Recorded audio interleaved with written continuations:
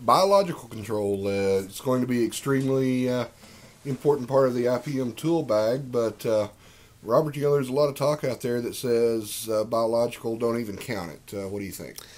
Well, Blaine, and, and that's right. Most people like to discount uh, biological control, but it is a very effective portion of any pest control component or program. It it's not not always the answer to an issue, but it sure helps as far as uh, keeping populations down. And it may keep us from making two applications where we might make uh, one application. But with the sugarcane aphid, what we found is that it it is ineffective uh, until very late in the season. So basically, what we're saying is those populations, uh, those predator and, uh, parasitic populations, don't build up until late in the season and by then the populations have already exceeded a, a, threshold.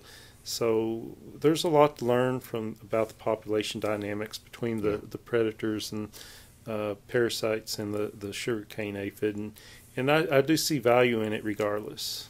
And I do remember a, quote from uh, uh, down, in, down in College Station uh, where our, our boss had said it takes about two years for an invasive species for biology to catch up to it. So, and with the reproductive capabilities of the sugarcane aphid, uh, I, I, can sure see that be the case. Yeah, I think that as as time rolls along, we'll get uh, we'll we'll have a better understanding, and we have people that will be a couple of students that will be dedicated to this part of the uh, IPM program as far as looking at biological control and uh, the sugarcane aphid. But with this particular aphid, one of the, the, the downsides, if you're if you're familiar with greenbug and the parasites that uh, that help us with green bug management. Lysiphlebus uh, tends not to be a good parasite or predator for uh, sugarcane aphid. Yeah, and uh, we've got most of our usual aphid uh, predator suspects. You know, your syrphid fly larva, the green lacewing larva, ladybug larva, of course, uh, um, and a, a, parasitic wasp that not normal on the high plains that might be moving in. Hopefully, things are fine and balanced there.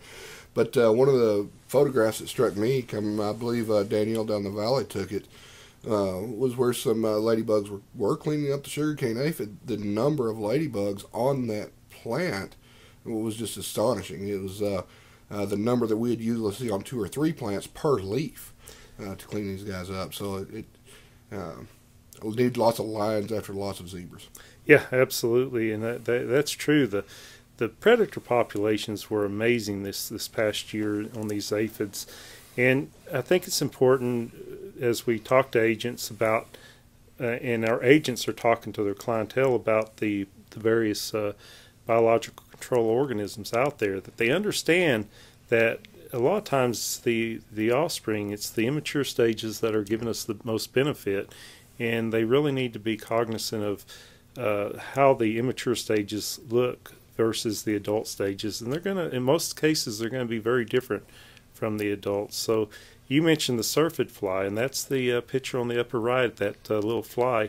It it's very easy. You know, when people ask me about the syrphid fly, I, I tell you know first you say, "Have you ever seen this fly?" and they say no, and then you say, "Well, have you ever seen these little flies that hover around flowers or in your fields?" And they'll say, "Yeah." Well, then you've seen a syrphid fly, and the adults yeah, we've all seen the adults, but most don't realize they've seen the offspring, which is a little light uh, green maggot that uh, will occur among these different populations, and they're a very good predator. And I think it's important that uh, that our clients understand that this is a good predator and a beneficial organism. Yeah, that little uh, green legless Alice slug yeah. looking thing yeah, there. Yeah, absolutely. Yeah if I understand what you're saying, the bottom line is that the beneficial insects won't keep us from reaching threshold. But if we get rid of them by using the wrong insecticides, uh, that bit of help that they give us goes away, and we're going to be in a whole lot more trouble as far as sugarcane aphid population that's, increase. That's absolutely correct. And that goes into uh, when we're dealing with uh, sorghum midge treatments or headworm or spider mite applications uh, you know, we need to look at products, and, and I think we've got a slide on it, but uh, products that are a lot more beneficial friendly in terms mm-hmm. of management here.